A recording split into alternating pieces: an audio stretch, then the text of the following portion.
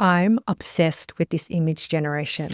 One moment I'm in warrior mode, the next I'm a superhero, then I'm cruising down a river in central Vietnam, chilling at a cafe, or wandering the busy streets of Singapore, or posing glamorously on a rooftop wearing couture. You too can create digital versions of yourself, and you don't need fancy gear or technical skills. Just a few selfies, a bit of AI magic, and patience, and suddenly you can step into any story you dream up. In this video, I'm going to walk you through step by step how to create your own AI image clone that really looks like you, what you'll need so that you can get the best results, and how to create prompts for your images. We're going to start by creating an account in Fal.ai. There are other platforms, but I feel that Fal.ai is the easiest and fastest to use.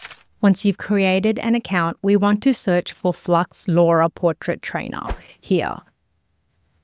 And then you can click on that in order to generate images and use this, you're going to be prompted to add some credits. I've already added credits, so I don't have this prompt here, but you'll see the option to add some credits. On the first day, I added about $20 worth of credit and I spent an afternoon creating 30 or so images and it cost me about $7. I've been playing around with images for a few days and it's quite affordable to generate a lot of images and it will last you quite a while. So go ahead and add your credit so that you can start playing. Next, we'll need to add some images to train the model. Ideally, you want about 20 to 30 images of yourself. These need to be well-lit photos showing a range of facial expressions. If you want to use a set of similar images, give them all the same file name. So you will need to create a zip file of the images, which you can then upload to Fal.ai. Next, we'll need to enter your trigger phrase. A trigger phrase is a special keyword you use in your prompt to tell Fal.ai exactly when to use your custom AI image style. I'm using Sara Nguyen as my trigger phrase. You can use your name or whatever creative term you want. Now, for the rest of the settings, you can pretty much leave it as it is. And then select start and the AI will start working its magic. This will take five to 10 minutes, sometimes a little longer, and once it's ready, you'll see it here under training history. Now that mine's complete, I want to select run inference. In the prompt section, it currently has my trigger word and I want to add a prompt of what image I want to create here and of course include the trigger word as well. So here's one I created earlier. In this path section here, it should have automatically generated a unique URL and copy and paste this. I've blocked mine for privacy purposes, but you're going to want to keep that on hand when you want to generate new images with this as well. So let's continue with the settings. In terms of scale, just leave it as one. For image size, choose the size that you want to size it to. So I'm going to choose landscape 16 by 9, which is really good for YouTube thumbnails.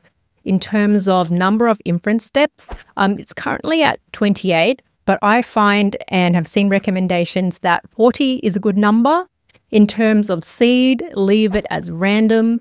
Guidance scale, leave it as it is. Sync mode, leave it off. Number of images, literally put how many images you want to generate here. The more that you have, the more images will generate. And then in terms of output format, you can choose JPEG or PNG and select run. And just like that, it will start generating the images for you and you can see what they look like in the results section here on the right hand side. And there you go. Look at that. How cool are these? You can continue to generate images and to tweak the prompt.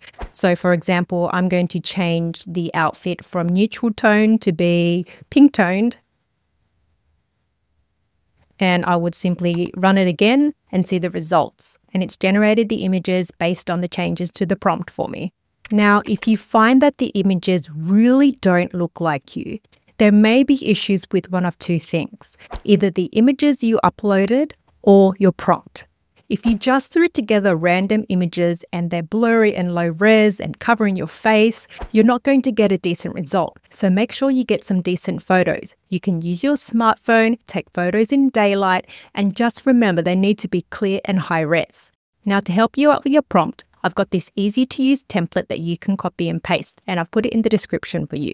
You need to give it enough detail to get a decent result. You can see from the template here, I'm specifying the style of the image, the trigger word, what I'm doing, where I'm doing it, what I'm wearing, expressions, lighting, mood, background details, and the color palette. Here's an example of the template that's been adopted so you can kind of see what you're aiming for and what it should look like. And for the ultimate inception, you can ask ChatGPT to write the prompt for you and paste it into your digital LoRA prompt. You can keep it simple and say, write a detailed image generation prompt for Fal.ai showing me in this particular scenario.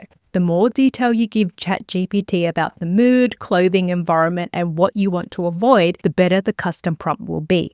And that's it. You're officially ready to clone yourself in any world you can dream up, from rooftop glam to riverside chill. You can use these to create really standout YouTube thumbnails or social media posts. There are so many different possibilities and applications. If you want to dive even deeper into using AI to help you with your content creation, check out the playlist linked right here on the screen. It's packed with step by step guides, ideas, and all my favorite AI hacks for creators. I'm adding more tutorials so we can continue to learn to create with AI together. Thanks for watching, and I'll see you in the next video.